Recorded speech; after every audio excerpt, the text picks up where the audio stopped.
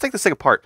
So to do that, we've got these uh, 1 8 uh, bolts here kind of going through. So we're going to start pulling those off until this thing comes apart. All right, now that those three Allen bolts are out, 1 8 head, we can kind of just pull down, right? Yeah, yeah, we can just pull down on this whole shebang.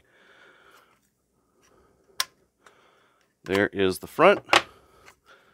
And there's the back. Now it is being held in uh, a little bit on the back here by this end plate, so it might be easier to uh, to use a castle nut wrench to pull it off just a little bit to uh, to get that bottom off. And with that off, we can kind of get a, a, view of the guts of this thing. You can see a very solid aluminum bottom there, and that's where the bolt uh, comes back. Here's our fire controls, and you can see that it is very very AR-ish in uh, inside there and it's using an AR style hammer and all that good stuff. So if you wanted to, you could upgrade this trigger. All right, just use my castle nut wrench there to loosen the castle nut on the rear. So now we're going to go ahead and loosen that off. I want to make sure your bolt's all the way forward for this, otherwise it's going to be under a lot of pressure. Once that castle nut is loosened, I can start to remove the buttstock, or the extension tube rather, but the buttstock's coming with it. And there you can see a large weight. Now that's part of the reason why we can get away with such a light bolt on this thing is that we've got this large weight that's uh, that's acting behind it. And to remove the bolt, what we'll have to do is loosen off that Allen key that's inside there. So I've got the correct size bit here. And I'm just loosening that off. And then that whole charging com handle comes off and this thing's dirty. And then the bolt comes out. If you're cleaning your JR carbine at the same time, the bolt's going to get a lot of crud on it as well as the inside the action right here is going to have lots and lots of crud in there. Uh, you don't actually have to take this bottom part off to get access to it. Like this side port gives you plenty of access as well. And you can just kind of thumb around in there and, and get all that black carbon and junk out. Now, what's behind this fore end? Let's take a look. So I'm going to use my 1 8 Allen key here. I'm just going to loosen those off. And you can see our barrel nut there um, proprietary one, obviously, um, and a nice straight barrel with no contour in it and no gas block or anything in the way. You could probably get away with a really, really slim little uh, fore end on this thing. Now, put this fore end back on, you kind of want the receiver and the fore end to kind of equal out, right? You want them to be level with each other and, uh, and nice and smooth.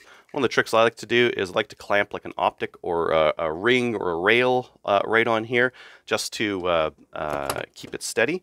So I'm just going to use this uh, red dot here for that. Now that my red dot's kind of holding these two together, I can tighten down these cross bolts. Now, you're just screwing into aluminum on the other side here, so don't go He-Man on these things or you'll strip them out. And after you strip them out, you'll have to do something ugly like put a nut on the other side or something dumb like that. So just don't strip them out.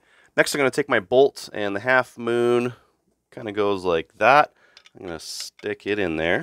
And I'm going to grab my long Allen key and my charging handle. Get in there. There we go. I'm going to put my bolt to where I can see it through that hole there because that's where the charging handle is going to go.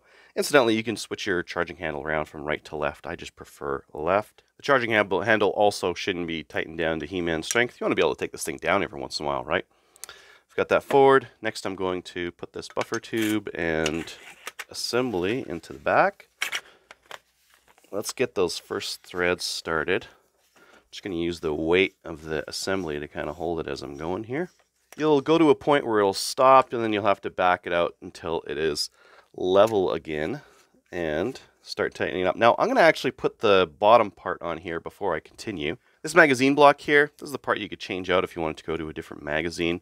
Uh, it's also going to be pretty cruddy, especially on like the little bits in here. This is a straight blowback rifle, so there's going to be some carbon that builds up on the inside of the action as you fire it, especially if you fire it with like really dirty ammo. Next, I'm going to take those two, connect them, and pop them into the rifle.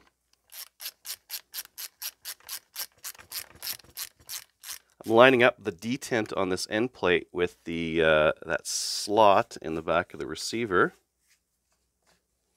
Kind of. Just making sure that they're even on both sides. And then I'm tightening that, that castle nut down. And now it's all back together. Function check, I'm going to pull the bolt back, make sure that the mag seats correctly, does not lock back, they don't. magazines come out. I have no round in the chamber. Test it with the safety on, test it with the safety off, holding the trigger back, rack it, release the trigger, and, this, and it resets. So this, this rifle's back into operational order.